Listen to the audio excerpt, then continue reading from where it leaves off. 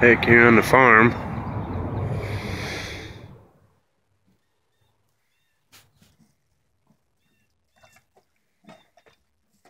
He's having his breakfast.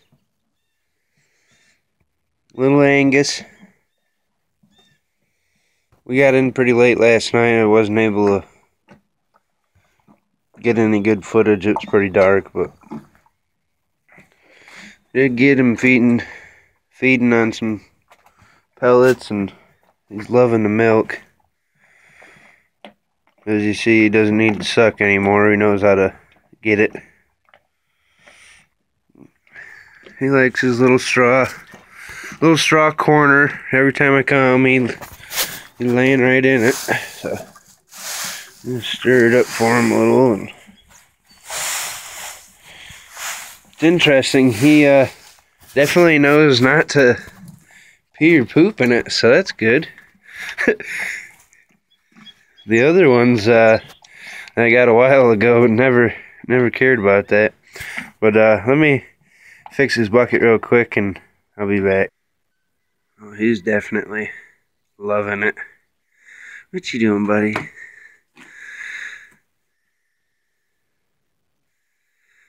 Aww. Yep, so he's pretty big. Today's his 20th day alive. I'd say he probably weighs at least 120 pounds. That's what the ad said. We when we loaded him yesterday, he was pretty heavy. It was not an easy task, so the little one to give you in perspective, the little one was I would say this tall. So he's definitely four or five inches to six taller and definitely looks pretty good and strong. He was just headbutting me a little bit and he was pushing me right around. So he's having fun. Now he is looking a little runny, but he's still on the milk. We've had that before, so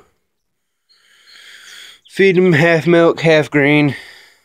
He's he's hand feeding the grain. I hope to have him eating it in a few days. Hopefully, well, he might start trying to eat it right now. Eat it up, bud. You can eat it. Yeah, put a little milk on there so he can start getting real used to it. And then I'll hand feed him what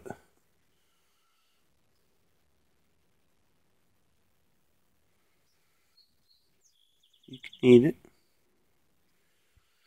He was pretty skittish. But he is starting to like like to uh, chew and stuff, so I'm hoping a few more days and I'll start trying to get that grain and maybe a week or two and he'll start eating it fully. We'll give him a full week though. Today's just day two in the in the old horse horse barn, the old Amish barn. That there we're gonna have to have a fire with, so that'll be a day of heat for you, won't it, bud? And when I got here, he did pee.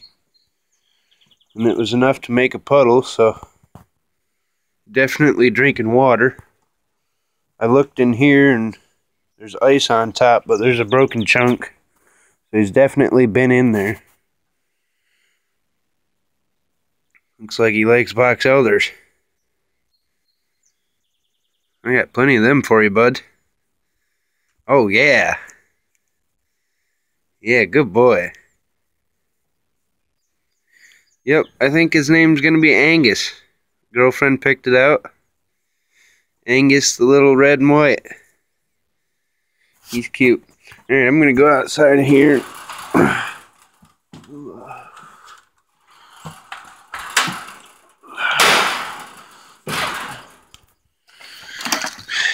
haven't quite gotten this whole pen thing squared off. We just got it set up for sure though. So figured I'd go and come back here a little bit. Show him off in his little pen. He's doing fine. It's cold. It's crisp. Crisp out this morning.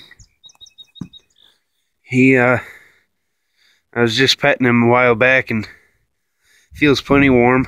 He's not having any issues with that. He's still young enough. He can't get over this fence for a month. Ah, buddy. Oh, yeah. Yep. Come here, bud. Come here, buddy. See, when I do this, he just wants to suck on my fingers all the time. Last night I bring, or I brought him a uh, whole bucket of milk, and he ate that whole bucket. So I know that I gave him this half bucket this morning. Tonight I'll give him a three quarters bucket. Just trying to break him into some food and not starving him, but I don't know what what the other farm was doing. If they were doing that much, who knows? Could have been feeding him one bottle and he's not used to it, so trying to build him up so that he's not always hungry and whining, but he actually is really quiet. He, uh, I've heard him make some, you know, little bleeps, but not much. Come here, buddy. Oh, yeah. You like that, huh? Oh, yeah, little Angus. Well, like and sub.